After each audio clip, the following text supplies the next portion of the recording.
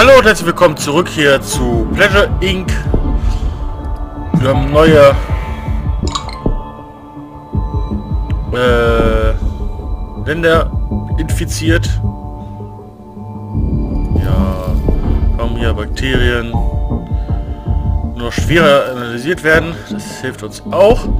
Und gegen Antibiotika, sodass wir da nicht so schnell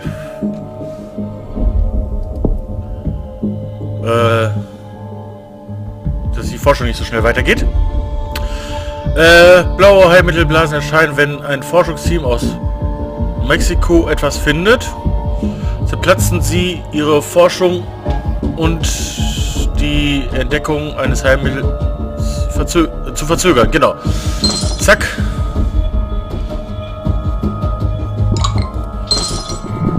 Dass nicht so Forschung nicht so schnell vorangeht, müssen wir die Forschung sabotieren. IPRO 125 hat das Durchfallsymptom ohne DNS-Punkte mutiert und weiterentwickelt. Sehr schön.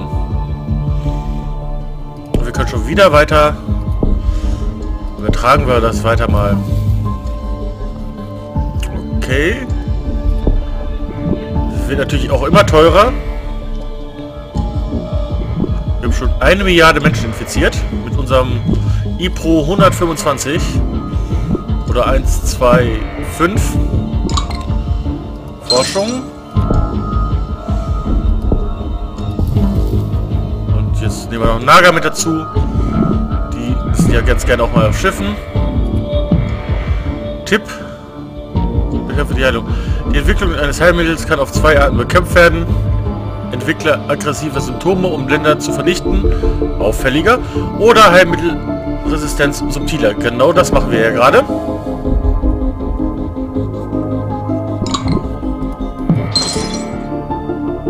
Die Heilmittelresistenz hier weiter zu erforschen. Das haben wir jetzt. Ne, haben wir nicht.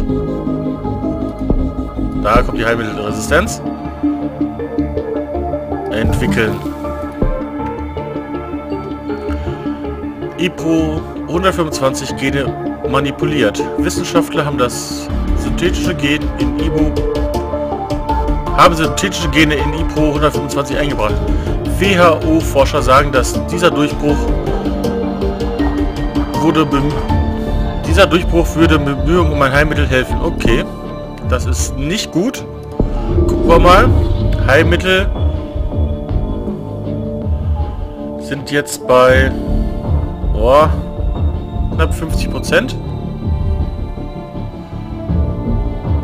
Das ist nicht gut. Und wir haben nur noch 19 Prozent gesunde Länder. 5 Milliarden sind schon infiziert. Grönland und Schweden sind noch außen vor. Aber nicht mehr lange. Heilmittel. IPRO 125 hat das Niesensymptom ohne DNS-Punkte mutiert und weiterentwickelt. Ja, okay. Schweden ist jetzt auch infiziert. Das können wir mal wieder weiterentwickeln.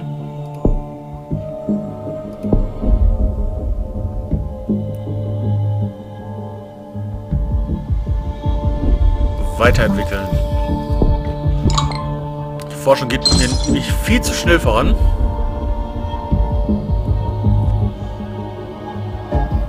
Das Heilmittel GI Pro 125 ist zu 25% fertiggestellt. Das ist nicht gut.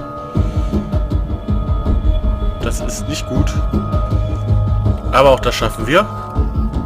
Es breitet sich halt immer schneller aus. Es gibt kaum noch Schiffe und Flugzeuge.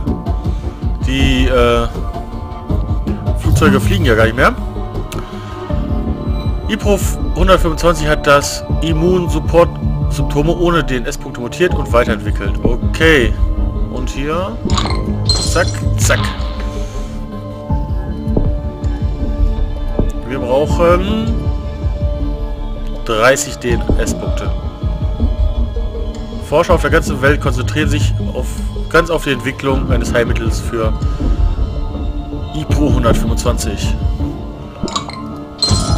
Flughäfen sind fast alle gesperrt. Hier in Spanien noch nicht. Es mutiert immer weiter.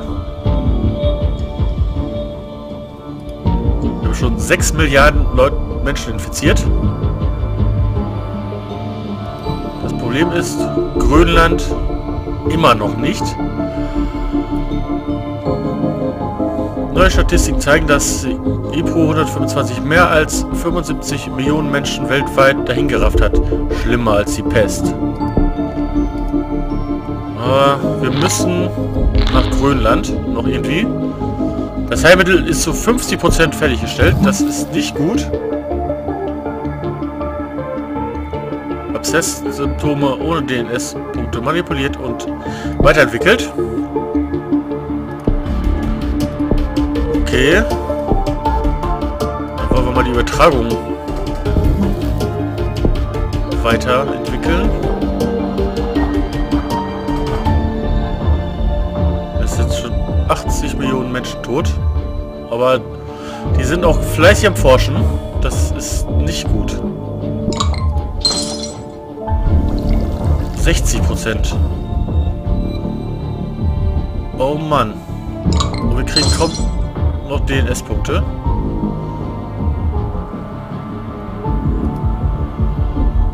Und es wird weiter geforscht.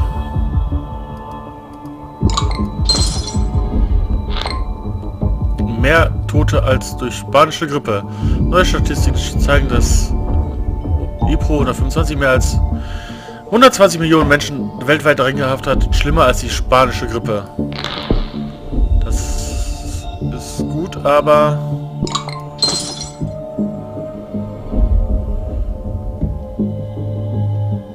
trotzdem zu 75% fertiggestellt. Ich könnte sein, dass wir das nicht schaffen.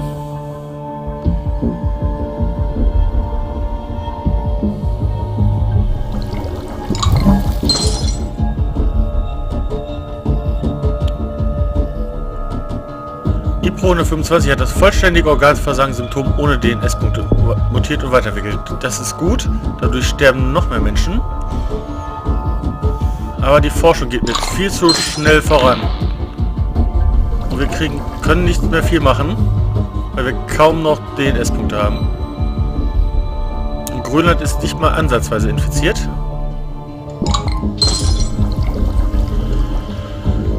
Neue Statistiken zufolge ist IPRO 125 die tödlichste Seuche aller Zeiten. Mehr als 300 Millionen Menschen weltweit sind daran gestorben. Schlimmer als die Pocken.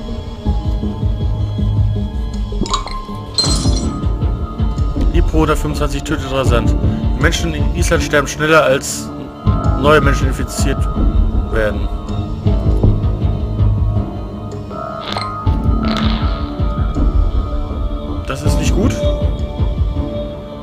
Japan beginnt zu zerfallen. Das Alltagsleben in Japan steht durch IPRO 125 vor dem Zusammenbruch. Die Forschung nach einem Heilmittel beginnt zu, nur zu verlangsamen.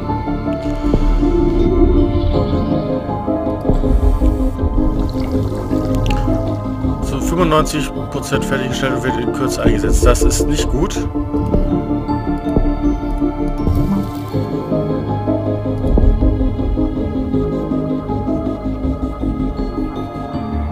Okay. Kriegen wir DNS-Punkte. Heilmittel gegen IPRO 125 fertiggestellt. Das Heilmittel gegen IPRO 125 fertiggestellt und weltweit eingesetzt. Das ist überhaupt nicht gut. Wir müssen die Übertragung erweitern.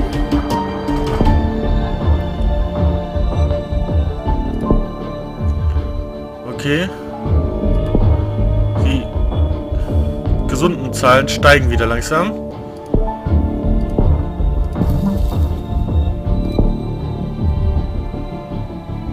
Okay. Die Infektion geht zurück. Schnupfen und Durchfall verursachen ungewollte Unfälle. Folglich sinkt die Produktivität und man setzt sich mit 100 IPRO 125 auseinander. Das ist nicht gut. Wir haben kaum noch infizierte Leute. Ich glaube, wir werden dieses Spiel soweit... IPRO 125 wird ausgerottet. Die Welt hat eine verheerende Seuche überlebt und wird IPRO 125 bald ausrotten. Obwohl ein Großteil der Welt vernichtet wurde, werden die Überlebenden sie wieder aufbauen. Okay.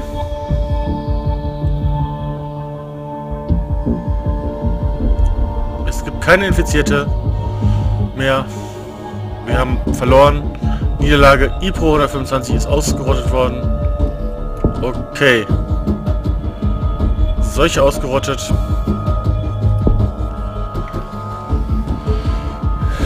Äh, Zeit 100, äh, 360 Tage. Heilmittelforschung 100% leider. Solchen Typ Bakterie. Gesamtbewertung 59. Was auch immer das heißt. Meine Bakterie, genannt IPRO 125, wurde gerade in 100, 360 Tagen ausgerottet. Schwierigkeit normal. Okay. Ja, das war's dann auch schon. Während wir im Hintergrund noch sehen, wie sich die Welt infiziert hat. Schade. Hat nicht funktioniert. Es sind nur 3 Milliarden Menschen tot und 3 Milliarden Menschen sind gesund. Also wir haben die Hälfte der Weltbevölkerung ausgerottet. Über die Hälfte. Okay. Das können wir besser beenden. Und wir gehen gleich weiter mit einem neuen Spiel. Wir können noch immer noch Bakterien. Jetzt nehmen wir mal die Affengrippe. Fortfahren.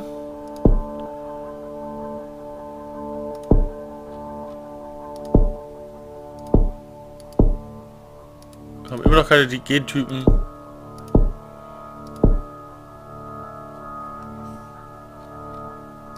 Die wir da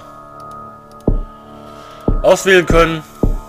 Aber gehen wir zum nächsten Mal. Wir hätten doch einen Gentyp, den wir auswählen konnten können wir den jetzt wieder auswählen? Okay, fortfahren. Wieder normal. Und wir starten ein neues Spiel. ALZ. Das klingt gut. Nehmen wir. Deine Wahl, Affengrippe. Um zu gewinnen, musst du dich weiterentwickeln und dich auf der Welt ausbreiten. Lösche die Menschheit mit der ultimativen Seuche aus. Startgebiet wählen, hatten wir alles. Wir fangen mal an fangen wir mal an.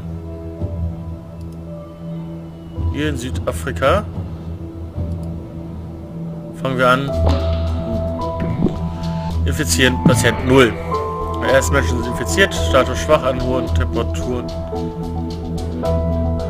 Gewöhnt, mit den S-Punkte weiterentwickeln, um mehr Menschen zu infizieren. Ja, das kennen wir schon alles. Das machen wir auch weiter so. Warnung, Affengrippe-Virus wurde identifiziert. ALZ 135 ist ein genetisch modifizierter Virus aus einem Gen-Sys-Labor. Die Affen haben es haben die Intelligenz erfolgreich gesteigert. Bei Affen hat es die Intelligenz erfolgreich gesteigert, wurde aber noch nicht am Menschen getestet.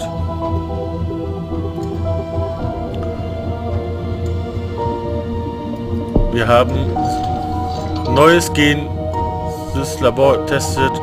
Virusarznei in Südafrika. Die Biotech Firma Gensys hat eine bahnbrechende neue Gentherapie für Alzheimer vorgestellt. Teststudien am Menschen beginnen, sobald Affenversuche in Südafrika abgeschlossen sind. Das kennen wir, die Tipps.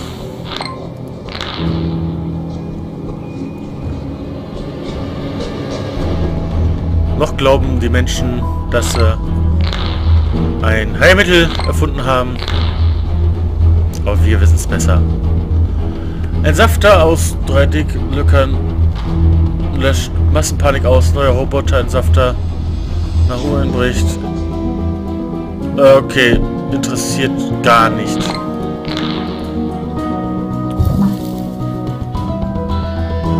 Äh, ALZ hat das Para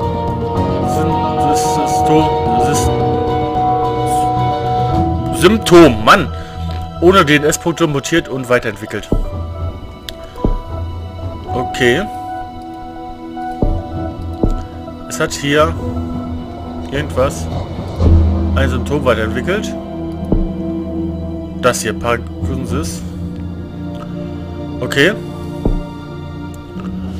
Dann fangen wir mal an.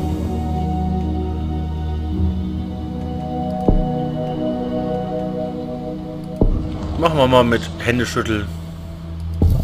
Körperkontakt. Und natürlich auch über Luft. Wir sollen ja miteinander sprechen. Du hast eine Krankheit mit den S-Punkten. Ja, machen wir. Haben wir, wissen wir. Kennen wir schon aus dem letzten Spiel. Südafrika von Person zu Person aus und wird exponentiell zunehmen. Du verlierst die... Du kontrollierst die Seuche indirekt, indem du sie weiterentwickelst. Ja, auch das kennen wir alles. Südafrika langsam neues Tierhaltungsgesetz in ländlichen Gebieten. Ländliche Gebiete werden durch neue Regeln für Transport, Hygiene von Nutztieren weniger anfälliger für Krankheiten. Äh, schade.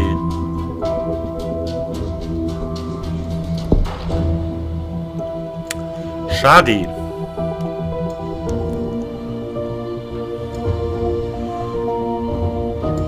Länderinformationen um... Ja, kennen wir auch kennen wir, bla bla bla.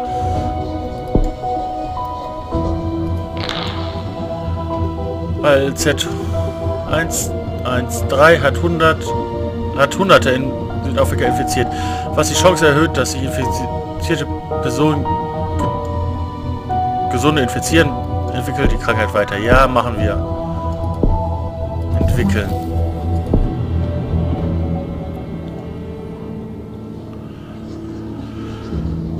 ALZ.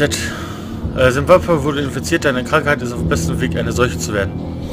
Wenn ein neues Land infiziert, zerplatzt die rote Blase für Bonus-DNS. Ja, auch das kennen wir. So, Fähigkeiten. Machen wir gleich mal am Anfang hier was dagegen. ALZ 135 hat das Niesen-Symptom ohne DNS-Punkte mutiert und weiterentwickelt. Ja. Okay. Und noch mehr Länder. Tausende Südafrika infiziert. Menschen erkranken immer schneller.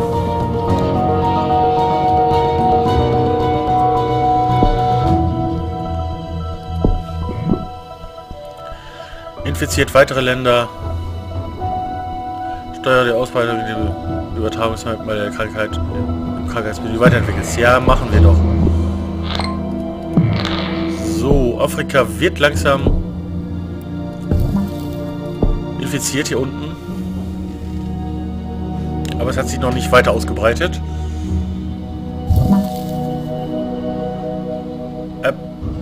Episataxis-Symptom ohne DNS-Punkte mutiert und weiterentwickelt. Ja, okay. Was heißt das denn? Entschuldigung? Also. Oh, Husten. Vielleicht bin ich auch infiziert. Blutung in der Nase. Das habe ich noch nicht. Das ist gut. Da bin ich ja noch beruhigt.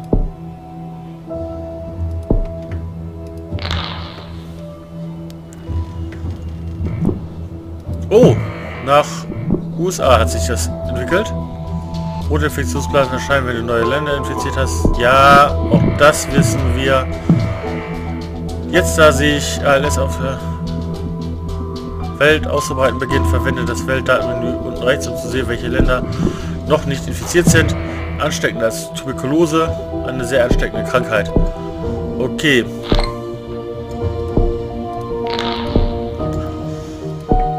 Gehen wir mal weiter auf Übertragung beziehungsweise auf Fähigkeiten.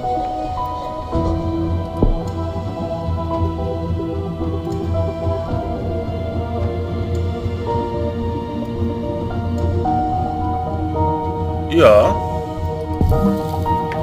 Wir wollen mal Affenrevolution. Wir starten.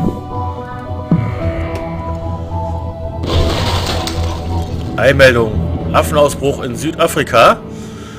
Aus einem Affenquartier in Südafrika sind mehrere Affen ausgebrochen und zerstören ein Gen-Sys-Labor verursachen Chaos in der Stadt. Die Behörden konnten sie nicht einfangen und die Affen sind entkommen. Gut. Also das Labor ist wo das äh, entwickelt wurde, ist Geschichte. Und kann wahrscheinlich auch kein Gegenmittel da mehr hergestellt werden. Äh, Affen verbessern ihr Verständnis des menschlichen Verhaltens, verringert die Wahrscheinlichkeit der Entdeckung durch Menschen. Das ist doch gut. Machen wir das doch. Behörden finden ALZ 135 infizierte Affen. Bei der Entwicklung zum Affenausbruch in Südafrika haben die Behörden festgestellt, dass Affen mit unbekannten Virus ALZ infiziert waren. Ursprung der Krankheit ist unbekannt. Okay.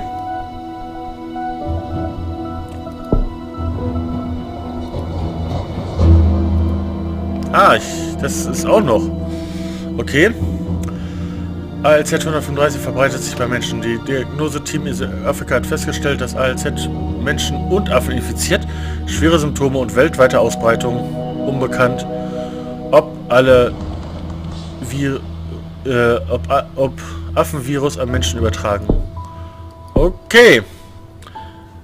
Das ist gut, weil das ist äh, auch das Ende für diese Folge. Wir sehen uns beim nächsten Mal. Macht's gut. Bis denn und tschüss.